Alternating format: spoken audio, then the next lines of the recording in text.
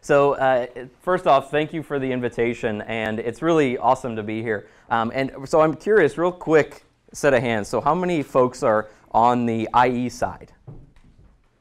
Cool. How many are physicians? Cool. And then what am I missing? What's the rest?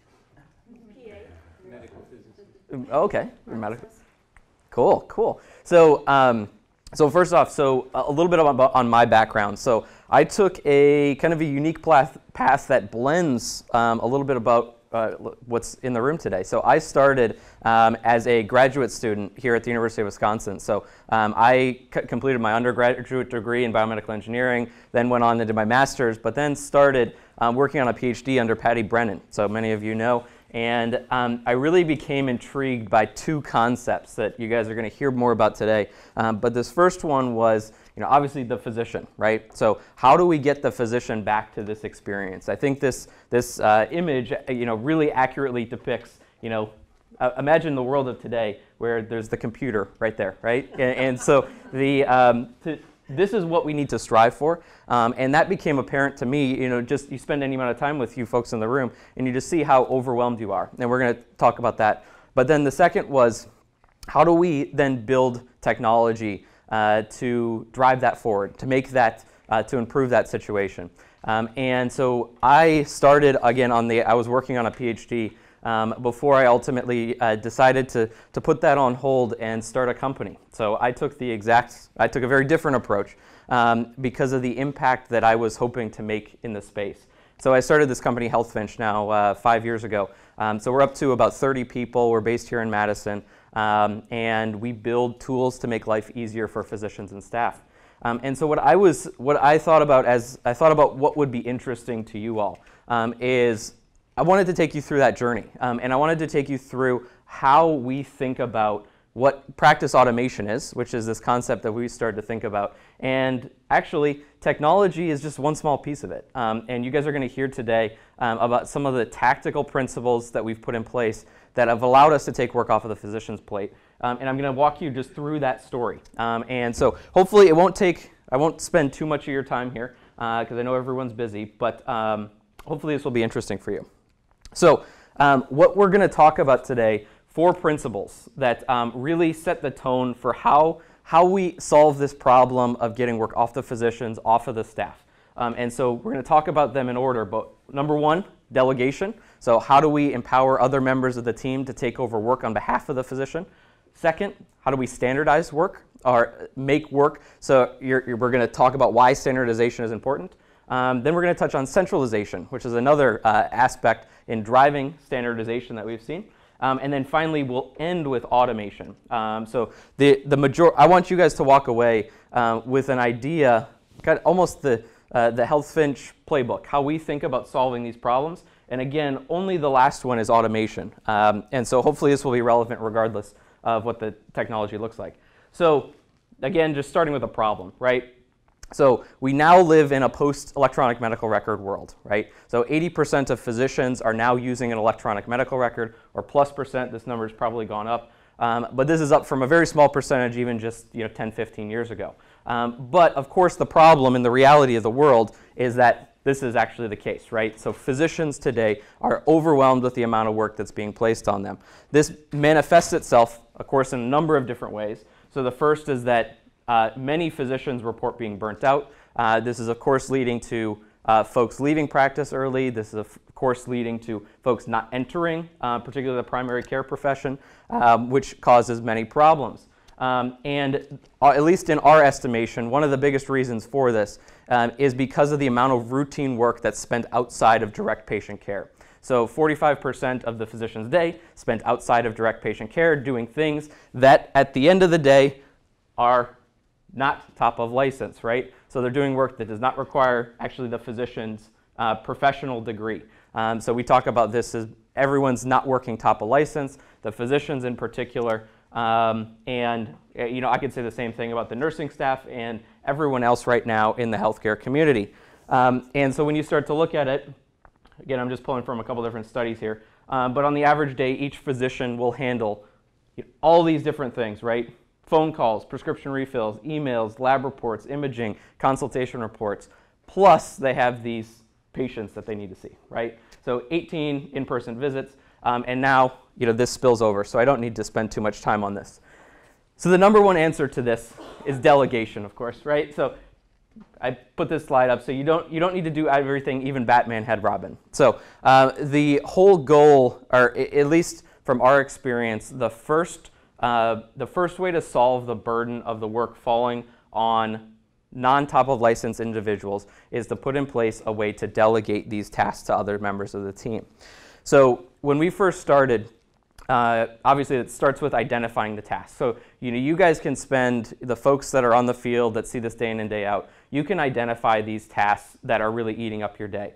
So as a company, we started with this area of prescription refill requests. So all the primary care docs uh, in the room will certainly know this well, um, but for the folks that don't, prescription refill requests for us were a great starting point because these are so these are where to level everyone up. This is a, a task that happens when patients are on chronic uh, diseases. So when they have hypertension, when they have di diabetes, they're given an initial script of uh, medication, so six months worth of meds. They run out at their pharmacy, and the patient or the pharmacy will generate a refill request or a renewal request to the physician to ask the question, can I have more medication? Um, and the challenge with this from the physician side is this is a point when they can ask, when the physician can ask questions like, well, when was the patient last seen? When, they, when did they have last have lab work done? Was that lab work normal? Uh, is this something that I still want the patient on? And the problem is that all that digging through the electronic medical record uh, can oftentimes take a couple minutes to do these refill requests. So with the average volume of around you know, 12 to 15 refill requests, they can spend between 15 to 30 minutes per day just handling this routine task. Um, and so this was a great example for us of work that we could get off of the physician's plate. Um, and so we started, I started the company uh, with a physician. His name was uh, Lyle Berkowitz, Dr. Lyle Berkowitz. Um, he's the medical director of innovation at Northwestern, practicing primary care doc as well. Um, and this was the spot that we started. So we said, let's tackle this prescription refill problem. So we jumped in, but you guys can think about, I'm going to use prescription refills as an example as I walk through this process. Um, but you guys can pick out any number of different areas that fall into this world. Um, so lab results, prior authorizations, um, pre-visit planning. Just think of all the routine tasks um, that could be protocolized and gotten off your plate. So the first step in the process is, of course, getting sign off from compliance, right? Um, and so this is, in my estimation, is one of the biggest hurdles that we as a collective need to figure out. Um, because what I see, so we, we go to health systems across the country and ask the question, how do we get work off the doctors? And then they go to the compliance team, they look at their state boards, and they say, oh, no, there's no way we can get that off their plate. Like, we need the physicians to sign those requests, right? Um, and so this is a challenge, and how we've seen this play out is that every state um, has different regulations that they have in place, um, but none of them are really clear around how to interpret things like the delegation of these tasks. And so what happens is the compliance teams of the health system take the very most conservative stance that they can, um, and because, for obvious reasons. And so then we are stuck in this stalemate where, you know, we, I mean, I have, or we, we've worked with organizations where, you know, they feel like they need pharmacists or they need nurse practitioners or uh, to, to, hand, to sign off on prescription refill requests. Um, and so this is obviously a challenge, and many uh, in our world, you know, we like to delegate refills, just to, again, focus on this task of refills, um, to RNs or MAs. Um, but again, in many cases, uh, that's not the case. So um, if there's one thing that we just as, an, as a collective need to work towards um, is to push not only the compliance departments, but also the state boards to, conti uh, to continue to drive this forward and continue to allow us to take work off of the physician and off of the, the, uh, off of the team. Um, so, so then we started with, um, okay, what we need to do is we need to put in place protocols or standing orders that's going to allow this work to be safely delegated, right? So we're going to, the way that we start um, is by researching evidence-based guidelines um, and aligning other initiatives. So um, many of you guys will have you know, within your health system, you'll have access to databases.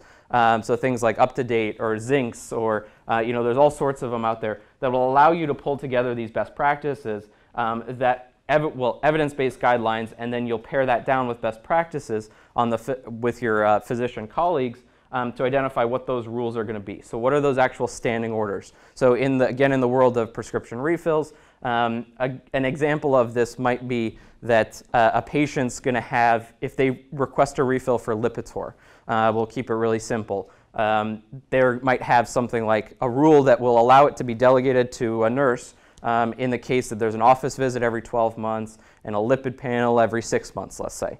Um, and so these rules uh, need to get built up and they need to get a lot or you, created through these evidence-based guidelines, so we need to align them to practices but you also need to align them with other initiatives across the organization. So what I see oftentimes when work gets protocolized in a health system um, is that they don't get aligned. The work doesn't get aligned. So what, what I mean by that is you might have a prescription refill protocol that's working under a different set of rules as a disease registry. Um, and so now you have these two systems that are competing with each other um, and they're driving towards different, different outcomes, which is a big problem, particularly from the patient's perspective, but also from an efficiency perspective. Um, and so as you're starting to think about putting these protocols in place, make sure that you are aligning them um, to drive towards that same outcome. So the next piece, so now we've got, we've got some, at least a set of guidelines in place. Now it's, it's incredibly important to identify stakeholders within your organization that are going to help you drive this forward. Um, so we have seen the importance firsthand of proper physician stakeholders, proper uh, whoever is going to be the recipient of these tasks. So in our case, it's oftentimes nurse leadership, um, then operations leadership, and, and executive sponsors. Um, because those different people are going to be key through this process because they're going to be the individuals that you're going to rely on uh, to ultimately help drive this process through your organization. Um, and I'll touch on some examples uh, later for why that's so important. Um, but the uh, physicians in particular, getting and setting that cultural alignment with getting everyone to top a license, um, getting everyone excited about getting more efficient, driving work away um, is, uh, is obviously something that needs to happen.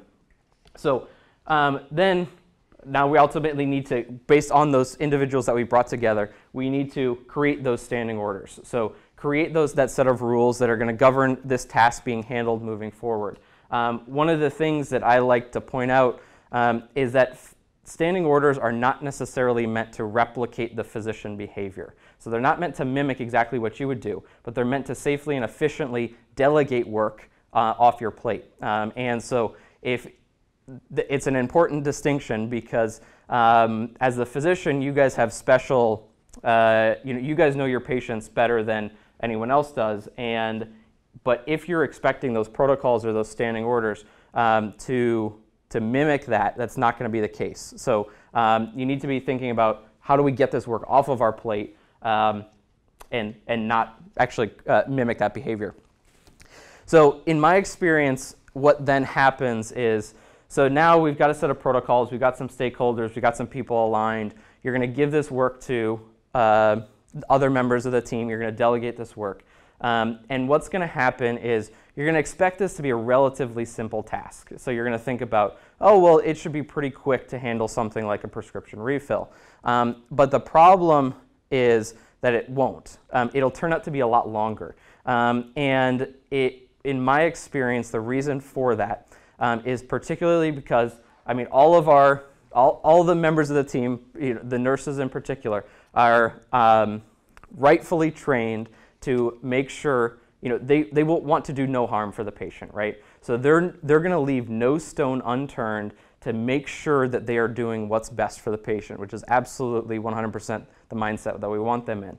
Um, but what this results in is a what you think of might become a relatively simple task now becomes this actually really long drawn out thing, task. So a task that might take you would think like a minute or two ends up taking seven, eight, nine, ten minutes because what the nurses will do is they're going to dig through the chart. They're going to be looking at every note. They're going to be looking at every um, report to make sure that they're doing what that patient needs to have happen.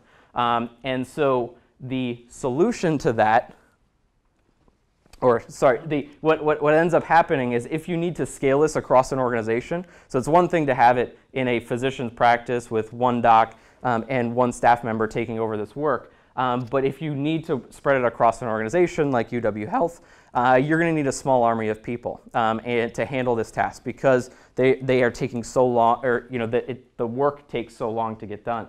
Um, and so it wouldn't be, it would be common for us to come across health systems of UW Health size um, where they would have 15 people doing prescription refill requests. Literally, that's what all they would do is just sit in a room and handle prescription refill requests for the entire organization. So we've come across groups that have anywhere from 10 to, in some cases, 30 plus individuals that are doing just refill requests. And it's because of that, again, because they're going to leave no stone unturned and they're going to make sure that the work's getting done properly. So the answer to that is standardization. Um, and so standardization as a concept obviously derives from a lot of industrial engineering principles, um, lean engineering. Uh, but the idea here is that we need to get the individuals into a mindset of thinking about what is the specific task that I need to get done, um, and then making sure that all the stakeholders are bought in to, to that task being handled in that specific way. Um, so let me break that down for you. So um, how we think about this is for any given task that has to get done, again, like prescription refills, there's a number of subcomponents of that particular task. Um, so as an example, uh, going back to the refill side, um, so one of the components of that is checking the protocols that I talked about, that we talked about that we created before. Um, but some other things that come up that you don't necessarily think about that come up um, are like, well, one, is this med even on the medication list? Was this med discontinued previously? Um, or is this medication a duplicate request? Um, and or does this patient need to get scheduled for labs or scheduled for an office visit? So all these things, all these workflows that you think are really cut and dry, it turns out they're really not when you get them into practice. Um, and so what these, what needs to happen though when you think about standardizing this work is breaking it down into the smallest meaningful tasks um, that are composed of that broader workflow. Um, and so then what you can do is then you can, for each of those subcomponents, define the specific workflow that needs to happen um, to get that do work done effectively. Um, and so, again, taking an example. So we talked about refill protocols as being a good starting point, but what happens when a patient, a refill request comes in and the, um, and the lab that's required for that refill request is abnormal? So um, what would commonly happen, what the, the normal response is to that is, well, we need the physician to review that. Um, and then, but then when I give that to the physician, then the physician's going to say, well, come on, it's just like mildly elevated here. Let's let, figure out a way for the nurses to handle this, right? Um, and so the answer to that is you put in place a very strictly defined workflow, a standardized workflow um, that the nurses can follow um, that eliminates their judgments because we can't have nurses practicing out of scope of their license. Um, and then they can complete that task. So an example of that might be, so patient presents or they have an ab abnormal result. So what they might do is they might check, well, was the patient seen since that last abnormal result, working under the assumption that the physician addressed it at that time? Um, or did, the did they actually see that the, um, that the physician verified the results and said that the result, or you know, took action on those results um, before then moving forward with the request. Um, and so it's really important that this, so this standardization of tasks turns this amorphous, poorly defined task um, that might take five, seven, ten minutes into something that instead can take 30 seconds or a minute to complete. And that's how you can drive significant efficiency. So, but the important piece, again, going back to the stakeholders, um, is that it's very important to have the stakeholders engaged through this process.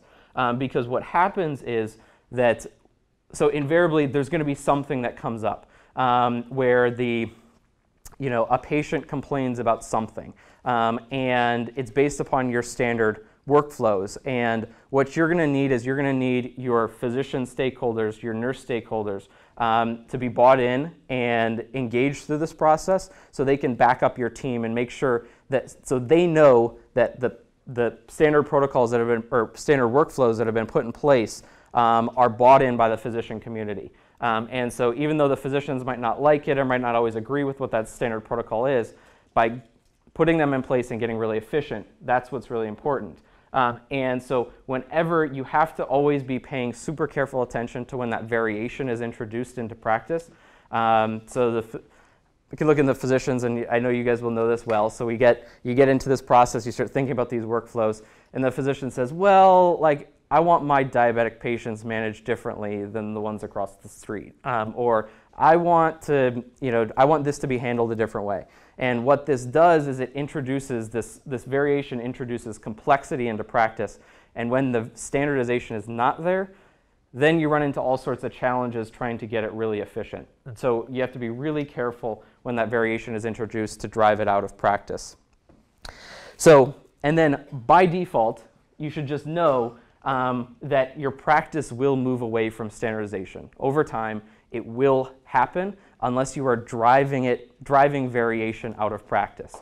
So you're going to put this in place, you're going to make it happen, um, and then if you don't carefully monitor it, you go away, it's going to go all back because what's going to happen is some, again, some physician will say they don't like it. And then they're going to start creating like these special categories for like this physician wants it this way and or this particular clinic wants it that way or, or this patient doesn't want it handled this way. And so um, it's really important to continue to drive towards that standardized model because over time, again, it will get pushed away.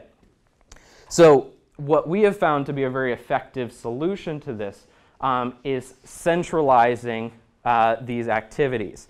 Um, and in particular, the management of these activities. So again, your practice is going to move away from standardized over time by default.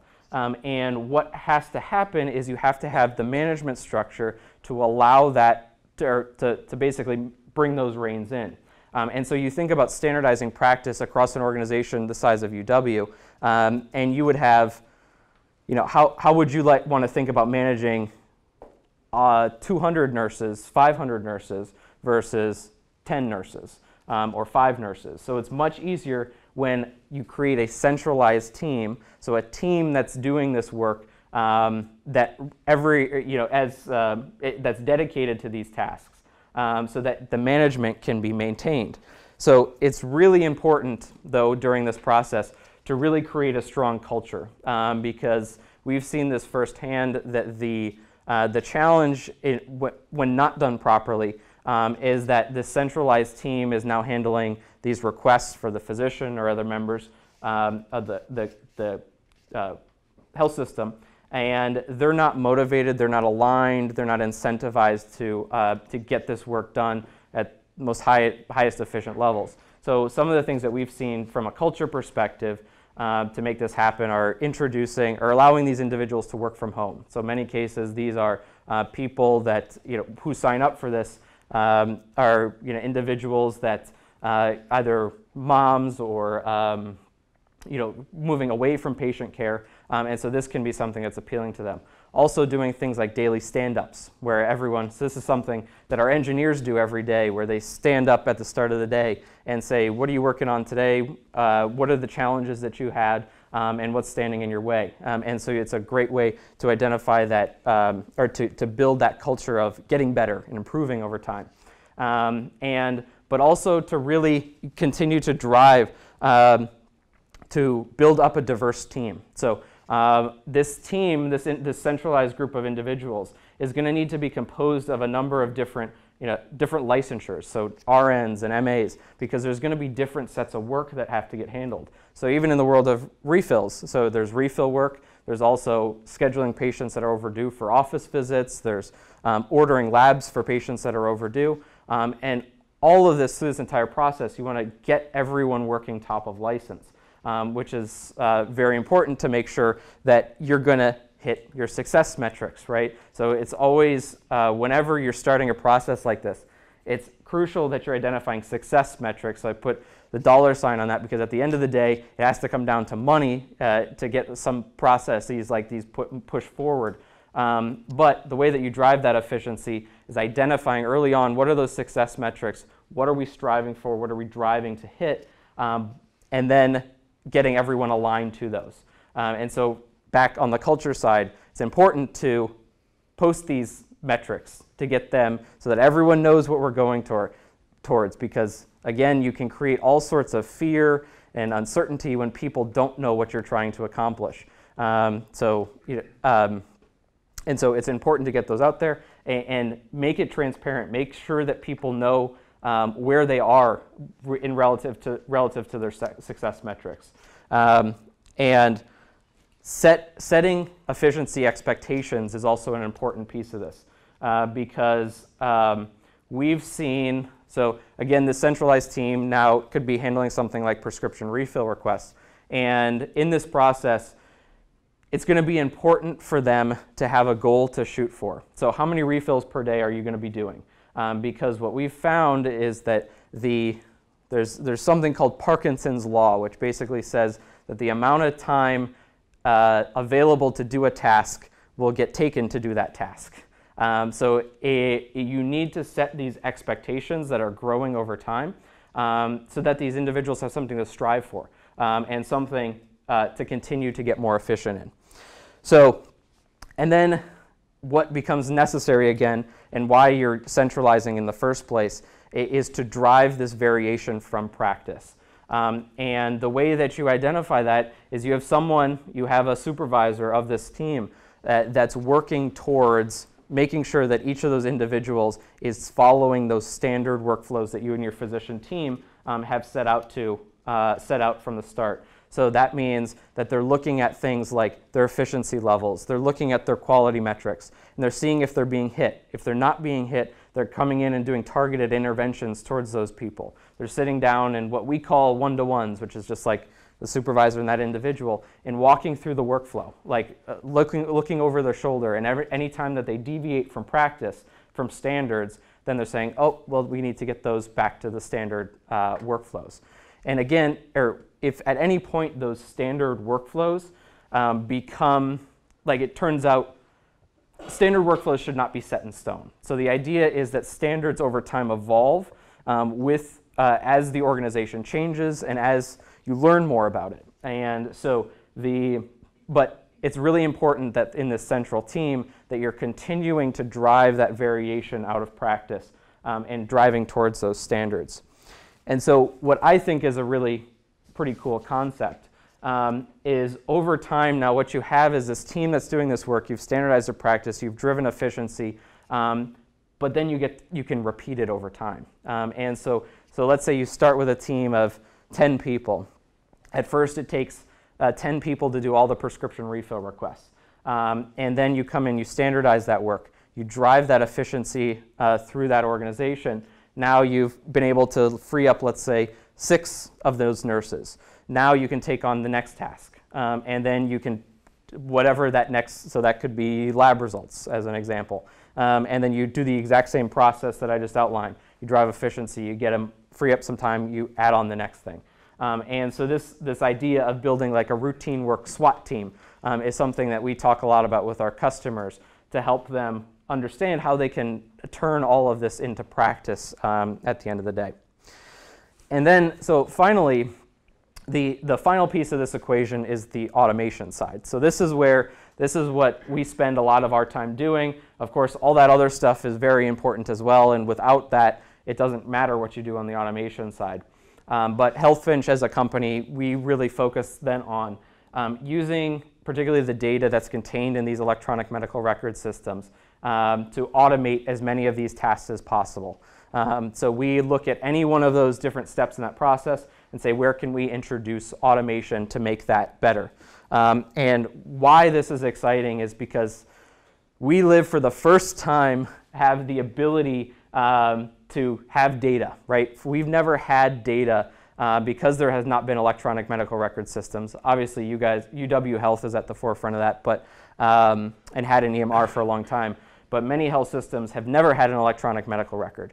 And because of that, um, they've had to rely on manual processes. But now, as this data becomes available, as it begins to flow, um, we have data that we can use to automate these systems.